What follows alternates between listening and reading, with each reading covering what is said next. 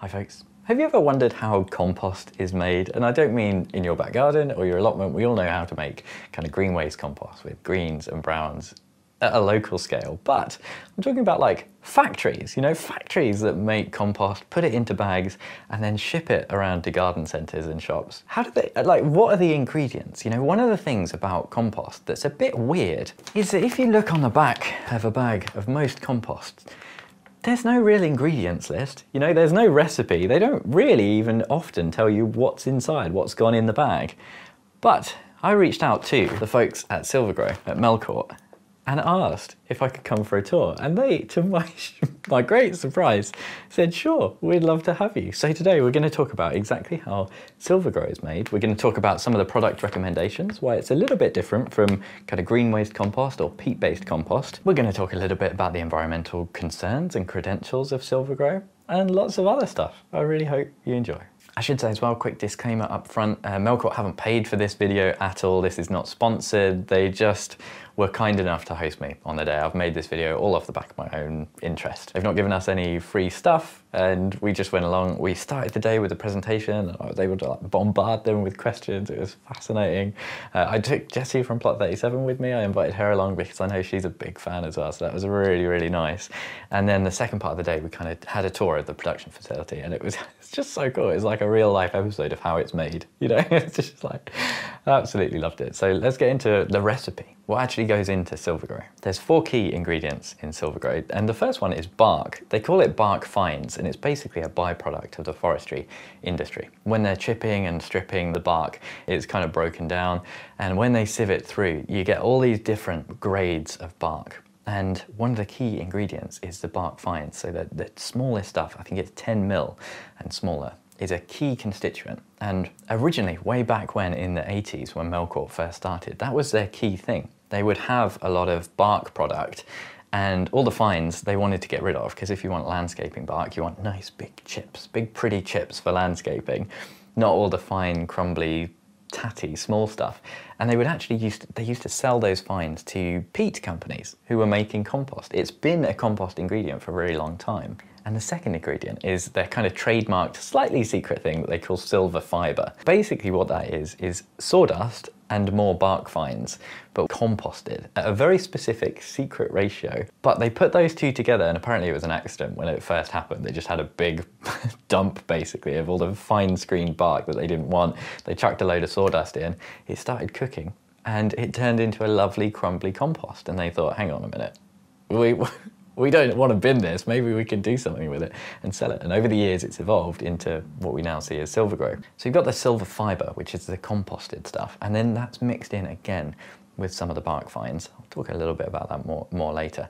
And then the third main ingredient is coir. I'd say main, it's about 15% I think in the bag is coir, so coconut coir. And I know coconut coir has a lot of detractors. We'll talk a bit about environmental considerations as we go on. But this is kind of the key sponge element. It's kind of what gives it that peat replacement texture because the coir has an amazing absorbency, basically. When I was talking about my chili potting recently, I spoke about how I've taken vermiculite out of the mix because there's a fair amount of coir in Sylvagrow, which is really what holds on to the water and it does give it this just amazing, lovely texture. When we were kind of feeling the coir and all the different mixes as we were going around, it was just um, this lovely, pillowy, soft texture to it that seedlings love. You know, seedlings just love that. And the fourth thing is Osmocote. Um, so that's a, a, fertilizer that they buy in, basically. It's produced off-site and they add it in at quite a small ratio. And they only started adding it a few years ago. And uh, it's the stuff, they're just tiny, clear little clear little pellets basically and there was a, a, video a long time ago where I thought they were slug eggs which Melcourt did enjoy reminding me of during the tour. But they said they did say which did make me feel better they've had like an email about that every week since they added them back in. So a lot of people do mistake them for slug eggs because they're just these clear little things. But that's like a, a, a, slow release liquid fertilizer that gets mixed in there. And they did say one other kind of small ingredient that they use is a bit of nitrogen, like urea, that they use in that Sylvafibre composting process. Sometimes if, if it's going a little bit slowly, then a little bit of urea can really kickstart the chemical reaction. Anyone who does a lot of home composting and is really up on things will be familiar with that kind of extra burst of nitrogen to get things cooking. Now something I found really interesting, the reason that they have to mix the Sylvafibre back in with more of the bark fines is actually to prevent everything cooking in the bag. What they really don't want to happen is for all of the ingredients to go into this bag and then get up to 60, 70 degrees Celsius because you lose a lot of the nutrients. Um, there's a lot of kind of careful thought and testing that's gone into this product. And there was a video that Simplify Gardening did, which I'll link up here. If you've not seen it, it's fantastic. He buys a load of, uh, he just goes to a shop, buys I think 10 or 12 bags of compost, rips them all open, does a bit of testing. And one of the things that seemed to have happened a lot in those products is that they'd begun composting in the bag, you know, hot composting, and it's really not good for your mix. There's nothing wrong with hot composting, you know, if you're doing it at home, it's controlled. You, you have control over the process and what's going in, and a lot of the things that you put into a bagged compost, you don't want hot composting. So that's why Sylvagrow add in the bark fines again to basically stop that composting process when you mix it all in with the coir and that kind of stuff, which I just, just was quite cool. Now, one of the, the things that really sets Sylvagrow apart, and it's a thing that a lot of YouTubers and people who use it talk about, is the consistency.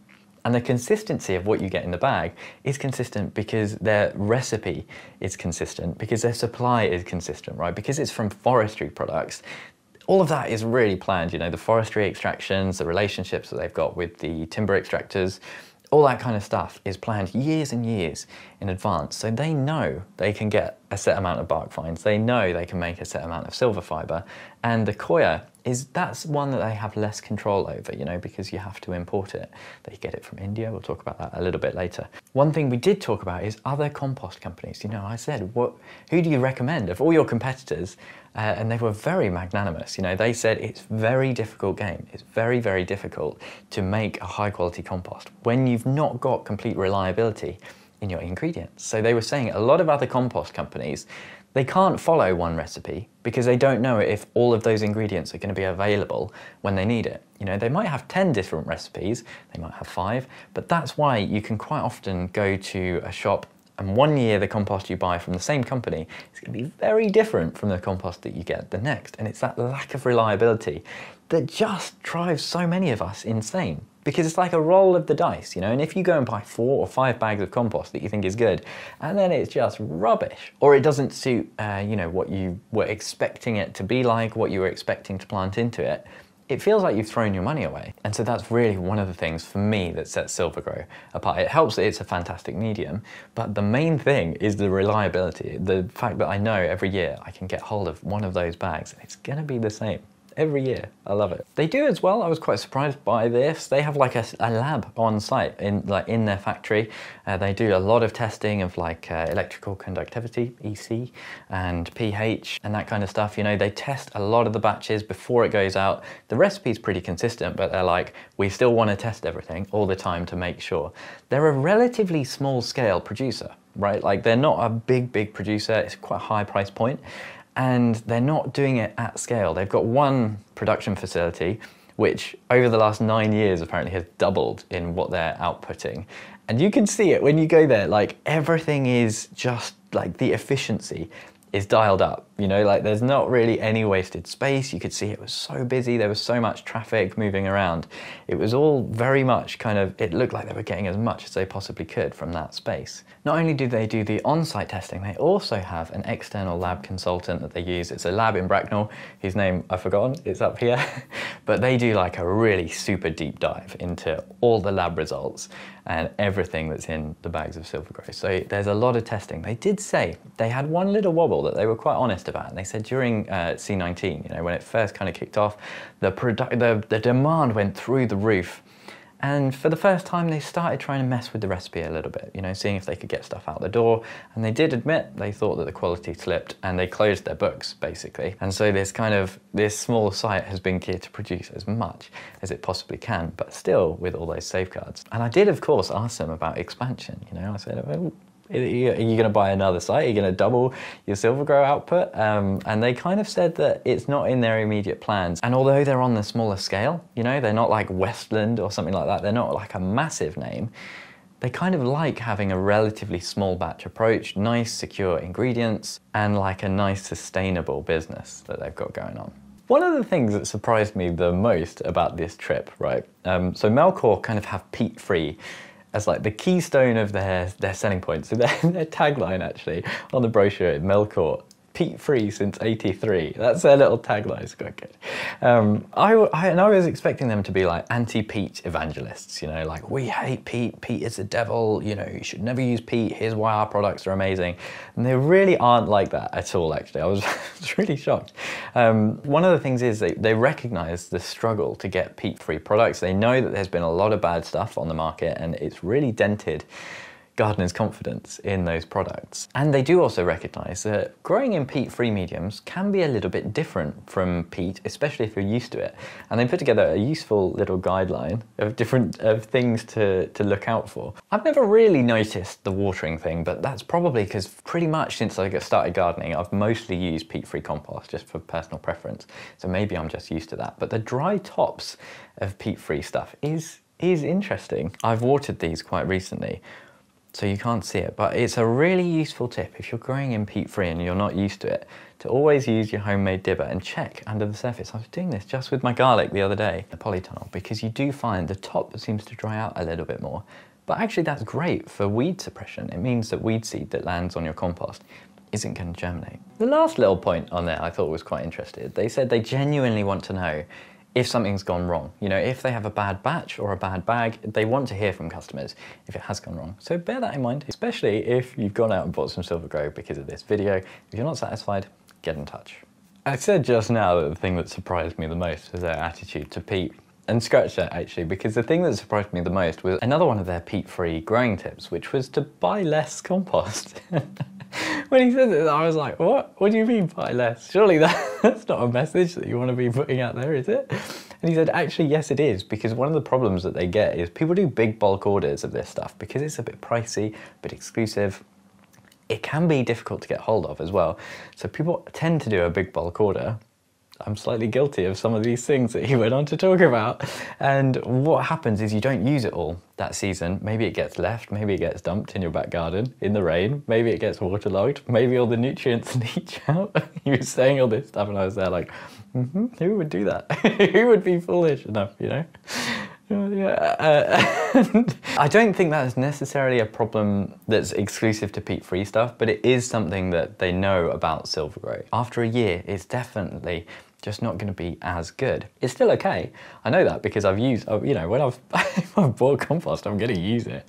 I'm not going to bin it, am I? Um, so I know it's still okay, but it's not as good. And some of the complaints that they've had is actually from people who are using compost that's been in a bag for two years. So buy less, buy what you need. Very surprising. That's a pretty good summary, I think, of how it's made, some of the production uh, bits that I found really interesting, and some tips on how to use it. But this, for me, we're now getting into the meat of the discussion, which is environmental credentials. And I want to talk about this a little bit because, you know, Melcourt, it advertises itself proven, safe, sustainable. It says it's a sustainable product, it's peat-free, it kind of uses that in the marketing, it's billed as good for the environment. So let's talk about it. Now, I'm not out here to do any gotchas or bleed like tabloid journalism or anything like that. There's no it's good, it's bad. It's very complex, it's very nuanced, okay? I work, uh, my career is kind of in the environmental sector and this is the sort of stuff I'm really interested in. So I'm gonna try not to go down too many rabbit holes. we might go on a few little meanders, I promise. I'll try and keep it relatively tight, but the first thing that struck me, really, actually, visiting the factory, and I was just like, oh my God. One of the first bits that we saw on the tour was just rows and rows and rows. Pallets of a plastic wrapped product. You know, every small bag is wrapped in plastic, and then all of that then gets a big extra coating of plastic. And we're used to kind of seeing the plastic of the compost bag. We know plastic isn't great, but when you see it on that scale, I was just like, whoa, that is a lot of plastic, you know, and you're selling yourself as like a, an environmental beneficial kind of product. How do you deal with that? What do you do? They were very honest and they said, look, this is a product it's going to have environmental impacts, it's going to have environmental costs. And the best thing you can do from an environmental point of view is not to buy the product. Don't buy something that's shipped from the factory to stores. Don't buy something that has ingredients that are shipped all over the country and from India. Don't buy something wrapped in plastic to grow your seedlings. Use your own food waste to make your own compost to grow your own food. In an ideal world, we'd all do that. I think we all try.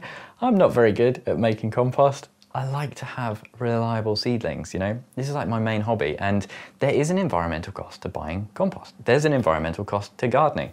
There's a big debate at the moment about whether or not growing your own food is actually better for the environment. It's very nuanced. The articles written about it also, instead of focusing on environmental costs, look at one thing, in this instance, carbon. And they say, if it's bad for carbon, then it's bad for the environment. And the environment is a lot more than just the carbon cost we're going. We're going on one of our little meanders, okay? But my point is, it's very nuanced.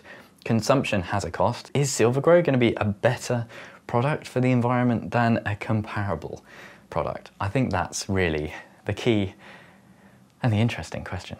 And a quick point on the plastic. They do use 20% recycled plastic. Their plastic bags are recyclable. They're trying to move towards 50%, but they said it can be really brittle, especially in winter. Obviously, if you've got brittle plastic that breaks when you move it, your product's spilling everywhere. Pretty useless. Oh, and as well, they do operate the only compost bag for life scheme, which I've ever seen before, which is quite cool. My local nursery Maggie's in Fareham, they do the bag for life thing. So next time we get Sylvagrow, I'm definitely investing in some of the bags for life. You pay like a deposit, you take the same, you, you know what a bag for life is. Now, coir being a main ingredient in, sil in Sylvagrow is kind of like uh, the easiest bit to attack, I guess. Um, and to be honest, I'll hold my hand up, not done much research about coir. I learned a lot on the day, and it's not something I claim to be an expert in. It's not something I've delved into in particular detail. They did say at Sylvagrow, like they know where it comes from. They've been out to the coconut plantations in India. That's where they get it from. Um, one of the key things that you see a lot with coir is people saying that there's a massive salt buildup that it causes but that's from coastal coconuts. You don't get that inland with inland plantations. The coir is a byproduct of other industries, other local industries, so it's a kind of waste product.